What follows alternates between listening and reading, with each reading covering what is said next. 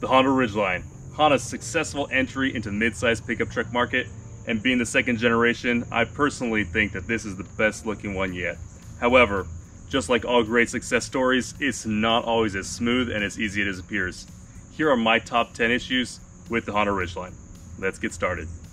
So number one is the location of the oil filter. If you go right here behind the wheel, you can see that it's right above the frame and this control arm. And when you remove that filter, the oil goes everywhere, down onto the control arm, over here underneath this plastic pan, and it's just a mess. And so I think that this location is probably one of the worst things that Honda could have put. I know that they had to figure out a place to put it, but they should have engineered probably a better location because it is just so messy when you're dealing with the filter. Number two is the ground clearance on the Honda Ridgeline. It's 7.9 inches tall, and when you have running boards, it makes for traversing and getting over stuff a little bit difficult, and so people who actually do go off-road and actually want to use their truck for that purpose will have a little bit more of a challenge in that segment. So having a truck, I feel that you should have something a little bit taller off the ground. It'd be nice to see maybe another two more inches on the Honda Ridgeline to make it a little bit more capable off-road. Number three, Honda's towing capacity. All-wheel drive models have 5,000 pounds and front-wheel drive models are limited to 3,500 pounds. So in the case of this trailer right here, this dry weight is 3,500 pounds, being that it's a dual axle. So that immediately eliminates all front-wheel drive models and pushes the all-wheel drive models over 50%. So it would be nice to see if Honda was able to push this towing capacity to 6,000. That would make it more realistic in terms of opening up the doors for things for people to do, like towing this trailer safely and actually loading it. And so that would be something that'd be nice because the specifications, obviously 5,000 pounds.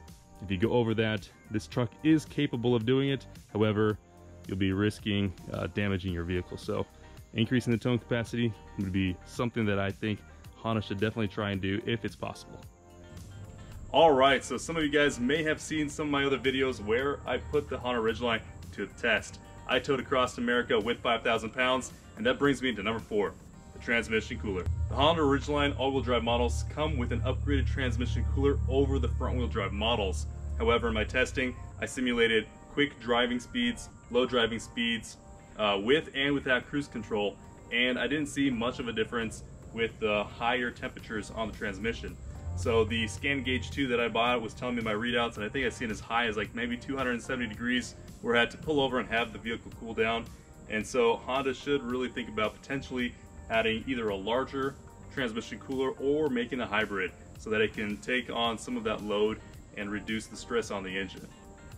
Alrighty, number five is the navigation system. Now, this is a good navigation system and it is currently up to date.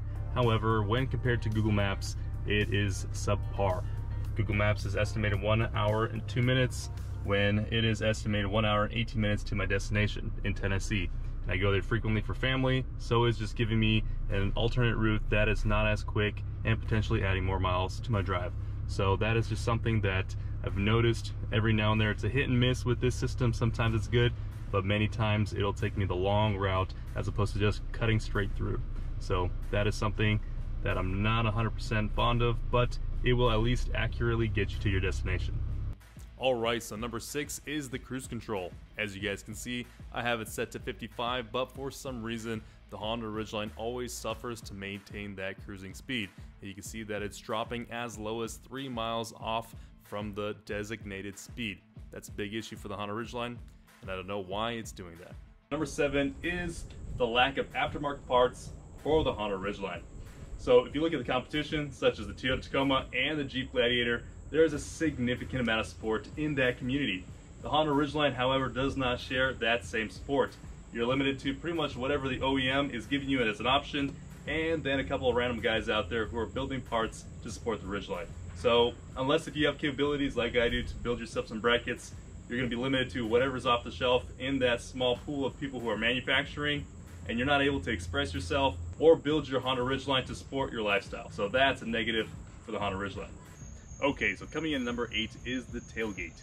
Now, Honda has the wonderful dual action tailgate, but however, because this is a very heavy tailgate, and when my son tries to come over and open it, I have to stop him because there is no dampening and I'm afraid that that could cause some serious injury. So I don't know if Honda can improve this because most of the stress goes onto one pivoting point. So it's just something to be aware of and something that I'm not a big fan of. So number nine is the Honda AC. As you can see, I have everything on low, AC is on, recirculation is on as well, and it is blowing cold air. We can check and we're at 58 degrees. However, it doesn't feel cold in the vehicle. It still feels warm. I don't know if it's just me, but my Honda Ridgeline seems to not have either good circulation in the vehicle to keep that cold air moving and cooling the vehicle off quickly enough, but it eventually does get cold. It's just not to par with other vehicles in this segment. So it's a big negative for the Honda Ridgeline because I do live in Georgia and it gets really hot and I kind of wish that it was able to cool down the vehicle quicker. All right, so here we are at number 10, and that is that the Honda Ridgeline is missing some key features that are not available in the United States market, but are found in Canada. Those features would be the ventilated front seat, power folding side view mirrors, the rain sensing wipers, and heated rear seats. These are some significant features that I feel that a top of the line trim such as the RTLE and the Black Edition here in the US market should have. However, they were never added in the US market. So maybe Honda will eventually bring those into this market and that would be a significant upgrade for the Honda Ridgeline for future models. Currently it's not available for 2022, but maybe for 2023 those will be options that are available. So we'll have to see. So these are my top 10 dislikes about the Honda Ridgeline. Hope you guys enjoy this video and I'll see you guys on the next project.